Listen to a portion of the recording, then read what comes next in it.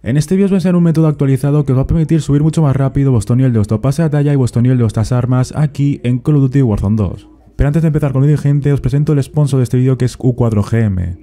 U4GM es una página web que ofrece servicios de Call of Duty, donde sus principales servicios son los siguientes. Ofrecen servicios de bot lobbies para que farméis vuestros niveles y vuestros camuflajes, también ofrecen Call of Duty Points mucho más baratos que el mismo juego, Después también ofrecen servicios para que consigáis códigos de promoción mucho más baratos y donde ahí podéis conseguir skins exclusivas. Y ya por último gente, también ofrecen servicios para que consigáis camuflajes u otras recompensas dentro del juego mucho más rápido.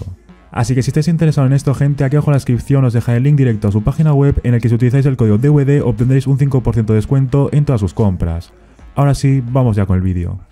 Y bueno gente, el método que os voy a traer ahora mismo es simplemente un método que ya traje hace unos días aquí al canal, pero es un método que hay algunas partes que están actualizadas. Y bueno gente, primero lo que tenemos que hacer es simplemente estar aquí dentro de Warzone 2 y cuando estás aquí lo que tenemos que hacer es simplemente iniciar una partida aquí en el modo juego de saqueo con el pelotón lleno.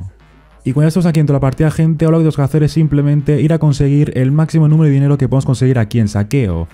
Y bueno gente, para poder conseguir el máximo número de dinero lo que yo recomiendo es que de primeras vayas a completar el máximo número de contratos de lupa que puedes hacer en esa partida. Ya que estos gente son los contratos que más dinero os van a dar aquí en este modo juego y son los contratos que más rápido los podéis completar en un simple momento. Y además gente, si por si en algún momento os quedáis sin contratos de lupa, lo que yo recomiendo es que el segundo contrato que vais a completar es simplemente hacer contratos de información, ya que son los segundos contratos que más dinero os van a dar aquí en este modo juego y son contratos que realmente no requiere de mucha habilidad ni tampoco requiere de mucho tiempo. Y ahora sí gente, una vez que tengamos el suficiente dinero, cuando tengáis unos 200.000 dólares por ahí, lo que tenemos que hacer ahora mismo es simplemente acercarnos aquí a una tienda aquí del juego, y con estos aquí enfrente de una tienda, lo que hay que hacer ahora es simplemente comprar aquí de primeras la tarjeta de crédito.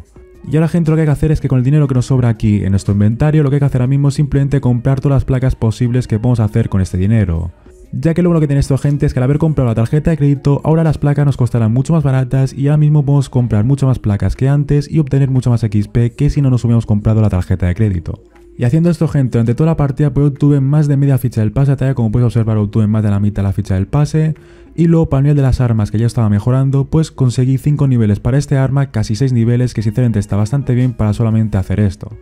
Así con chavales, este sido el vídeo de hoy, espero que gustado y ahora sí lo vemos en el próximo vídeo. Adiós, chao.